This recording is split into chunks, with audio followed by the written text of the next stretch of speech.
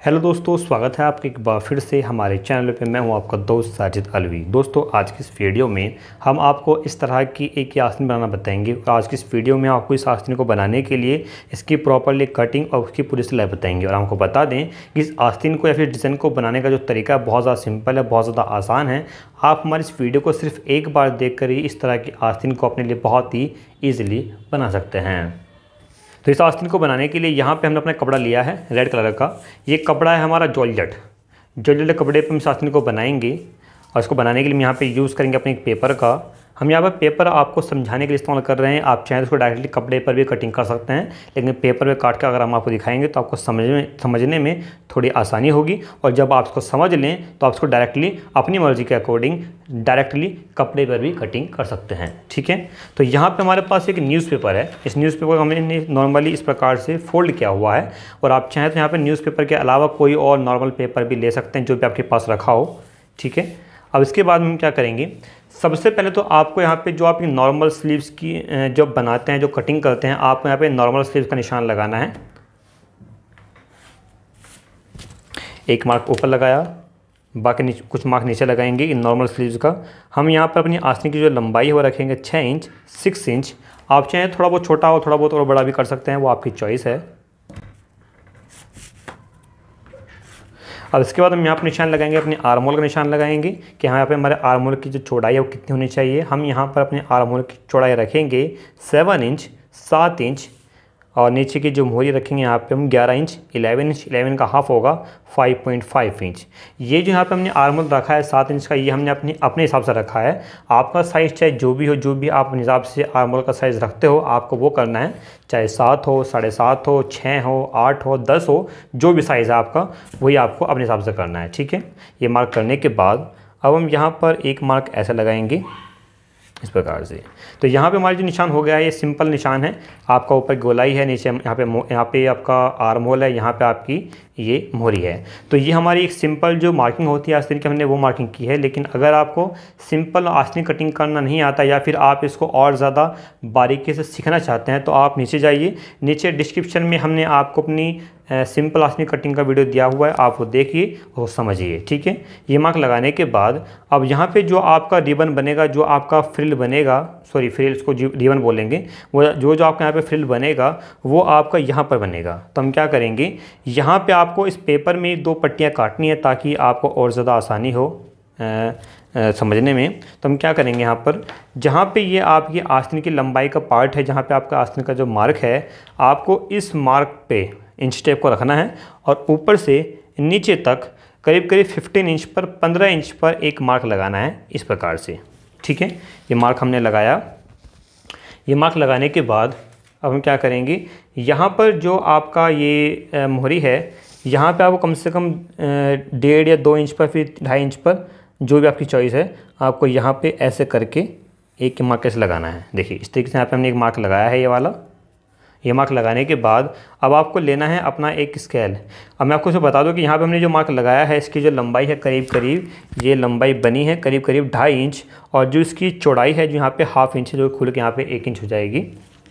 अब आपको इस मार्क को यहाँ पर ऐसे करके सीधा करना है।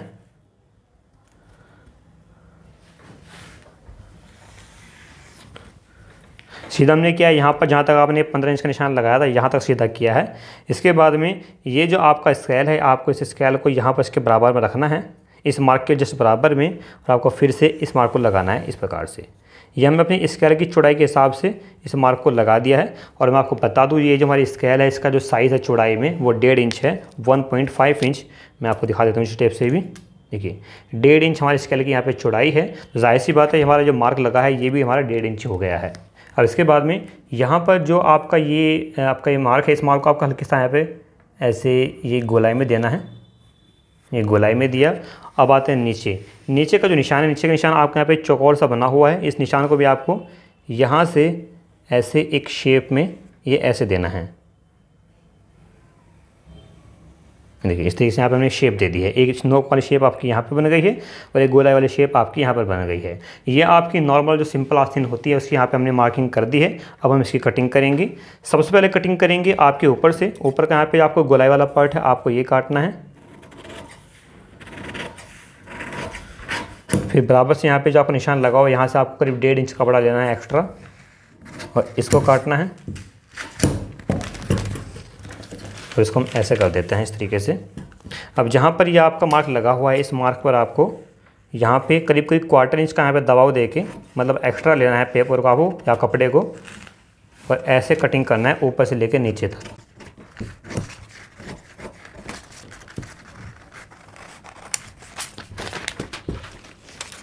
और ऐसे ही कटिंग आपको यहाँ से करनी है, दूसरे साइड से।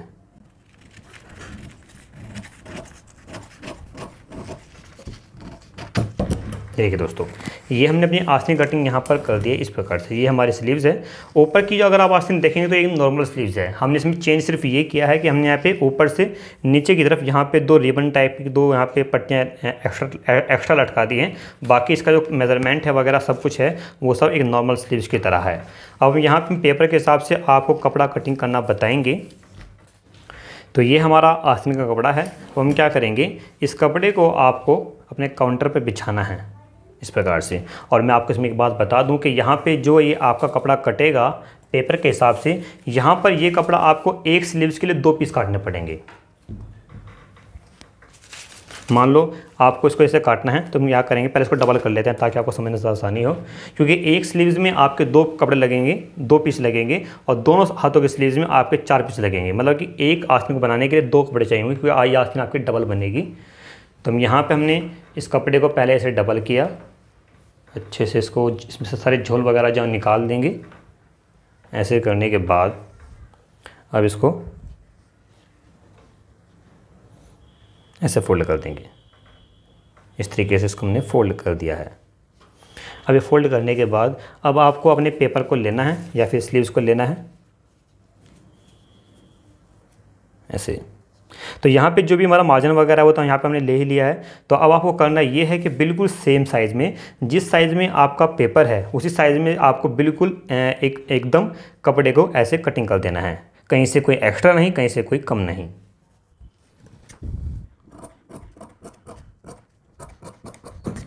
और यहाँ पे जो गोलाई वगैरह आती है आस्तीन में, वो आप आस्तीन को तैयार करने के बाद इसमें डाल सकते हैं, जो कि हम यहाँ पे आरमोल की जो गोलाई देते हैं, वो जब आपकी आस्तीन सिल के तैयार हो जाएगी, वो आप बाद में दे दीजिएगा।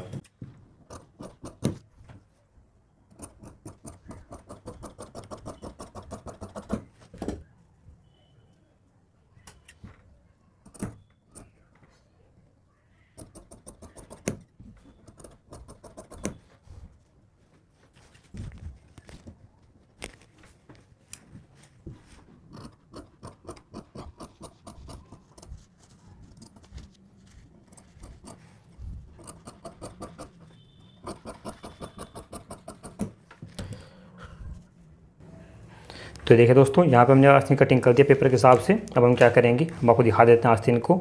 ये हमारी एक आस्तीन है। देखिए, यहाँ पे आपके दो पीस हैं। एक पीस आपका ये नीचे वाला और दूसरा पीस आपका ये ऊपर वाला। ये ये दो, दोनों जो पीस हैं, ये हमारी एक आस्तीन के लिए हैं और एक आस्तीन में आपको दो पीस लगेंगे। और दूसरी स्लीव्स के लिए भी आपको सेम साइज़ में इसी प्रकार से दो पट्टियाँ और काट लेनी है। अब हम क्या करेंगे?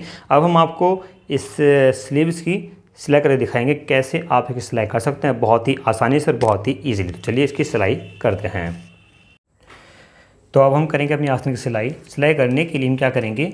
हमारी आसन का जो नीचे वाला पार्ट है, जो ये वाला पार्ट है, यहाँ से आपको सिलाई शुरू करनी है। यहाँ से हम एक पैर का दबाव लेंगे और अपने आस्तीन में यहाँ पर इस तरीके से सिलाई लगाएँगे। यहाँ से ऐसे लेते हुए पूरी सिलाई को आपको एक ही बार में वहाँ से शुरू करके यहाँ पे ला ऐसे ख़त्म करना है। ठीक है? चलिए हम करते हैं। पहले कपड़ा बराबर कर लेंगे सब जगह से। कपड़ा बराबर करके अब यहाँ पे आपको सिलाई लगानी शुरू करनी है, एक पैर का दबाव लेके।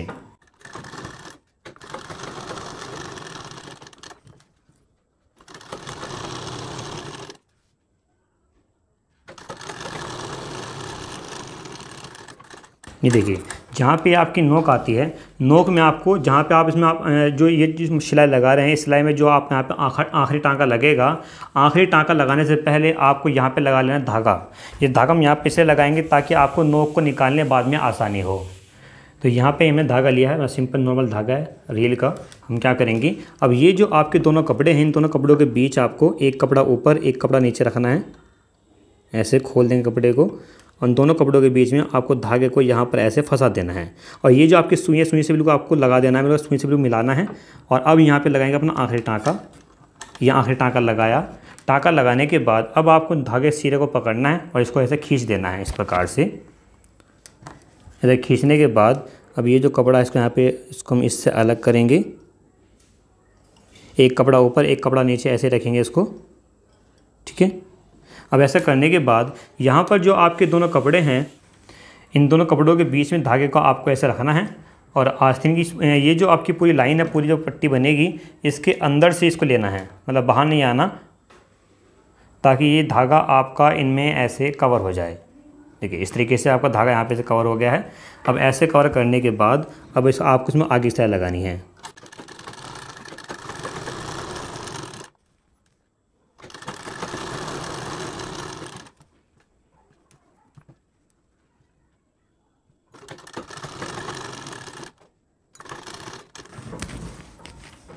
ये देखिए, यहाँ तक हमारी जो आधी सिलाई यहाँ पे पूरी हो गई है, हमने यहाँ से सिलाई शुरू की, यहाँ पे धागा लगाया और यहाँ पे सिलाई को रोक दिया है, ठीक है? और इसमें यहाँ तक सिलाई हमारी आधी सिलाई हुई है। इसके बाद में जो हमारा आधा आधा हिस्सा बचा है बाकी का, उसमें भी आप, हमें यहाँ पर सिलाई ऐसे लगानी है और ऐसे यहाँ पर हमें धागा लगाना है, ठीक है? जो कि हम यहाँ पर आपको लगा दिखाते हैं अभी।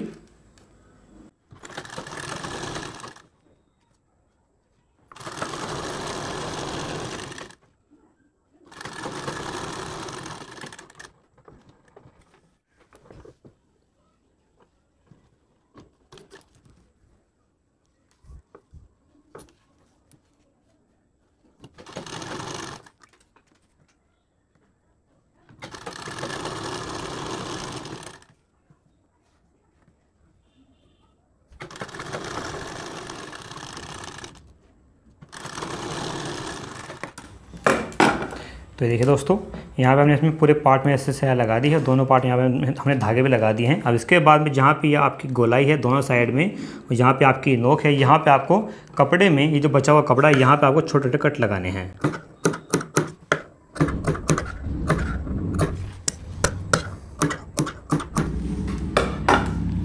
ऐसे कट लगाए। अब आपको अपने कपड़े को खोलना है, और ये जो आपके धागे हैं इन धागों को जब आप ऐसे पड़े खींचेंगे तो ये आपके जो ये जो पार्ट हैं, ये ऐसे पलट जाएँगे।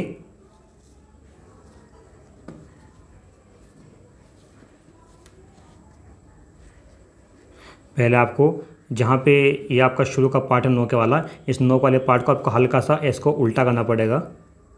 ऐसे उल्टा करके तब इसको खींचेंगे।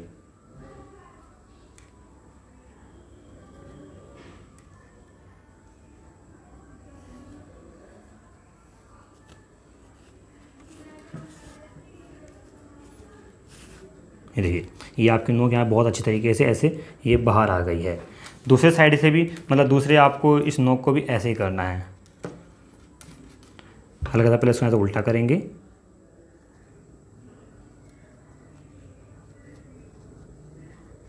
और फिर इसको हल्का करके इसे खींचेंगे।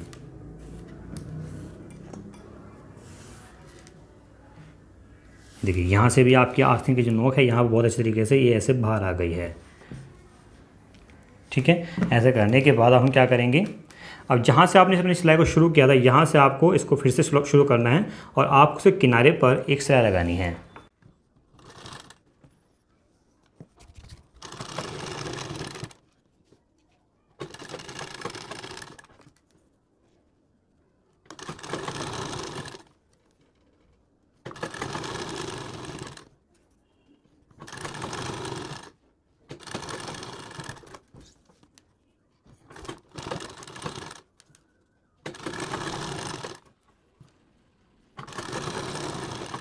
ये देखिए, इस तरीके से सिलाई लगने के बाद ये जो आपके नोक का पार्ट है, ये इस तरीके से आपके सामने आएगा। और ये जो आपका धागा है, इस धागा आप पहले यहाँ से इसे कटिंग कर दीजिए। फिर धागे का एक सिरा पकड़ के ऐसे खींच दो तो ऐसे बाहर निकल जाएगा, ठीक है? अब आपको बाकी पूरी आस्तीन में ऐसे करके सिलाई लगानी है।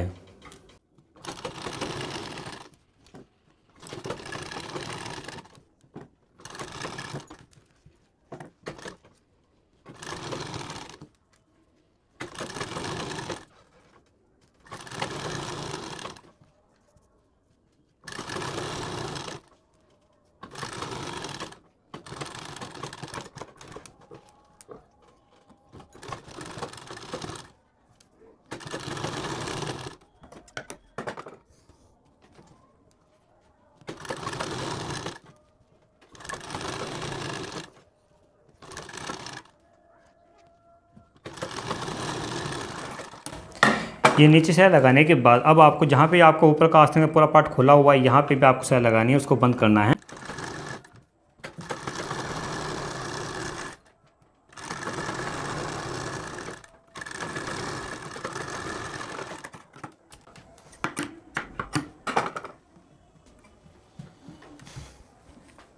तो ऊपर भी सिलाई लगाने के बाद ये जो आपकी आस्तीन का डिज़ाइन बन के तैयार हो चुका है, अब आपको इसमें सिर्फ़ और सिर्फ़ यहाँ पे जो आपके रिबन बने हैं, इन रिबन में आपको लगाने गांठ, एक रिबन की तरह।